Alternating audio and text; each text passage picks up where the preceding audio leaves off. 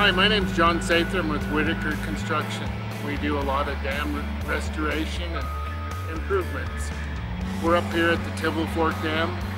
Um, there it's a complete reconstruction and to raise it up 10 feet.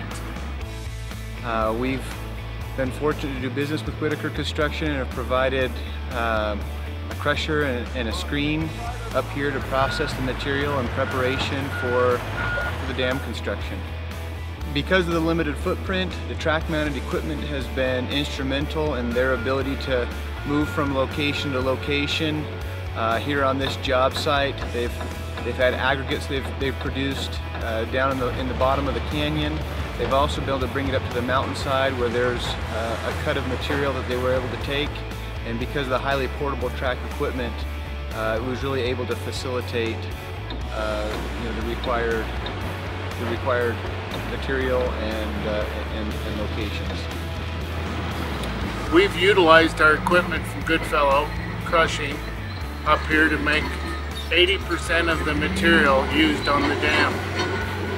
With our 2650 jaw and our GT206, we've been able to hit the specs mandated by the federal government.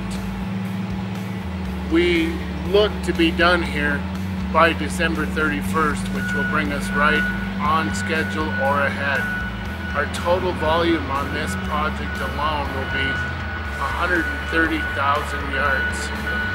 So we are using probably three, four D8s. We've got 10 to 15 articulated trucks. We've got track hoes.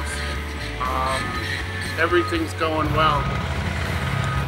Because of schedules and uh, and winter approaching, you know, Whitaker's had to go to a 24-7 operation, which pushes the equipment to its limits. Goodfellow's been able to step in from a service serviceability standpoint and, and, from a support standpoint and really work with the operators to ensure that the uh, equipment is is working in top order and uh, in order for them to meet their deadlines. With Goodfellow Crushing, we've we've been able to get all of the supplies we need in the high demand season. So we are very impressed with them. We did Grace Idaho Dam reconstruction with them. Uh, it's been a continued relationship between both of us and we sure appreciate it. Thank you.